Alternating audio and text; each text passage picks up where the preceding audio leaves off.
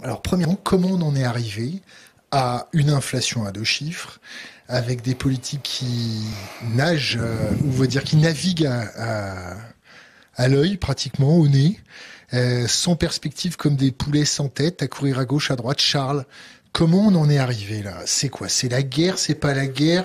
C'est les politiques monétaires? C'est l'inconsistance et l'incohérence de nos politiques économiques? C'est la... C'est tellement facile.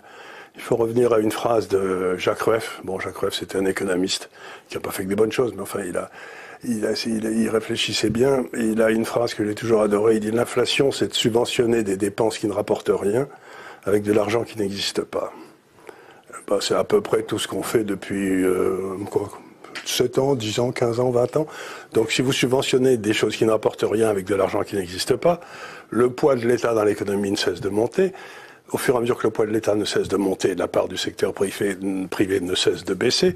C'est-à-dire qu'il n'y a pas de nettoyage du système puisqu'il n'y a pas de création destructrice. On ne peut pas virer les types, une fois qu'un programme étatique est lancé, il dure jusqu'à la fin des temps. Donc, grosso modo, on a monté un système qui ressemble de plus en plus à la bonne vieille Union soviétique.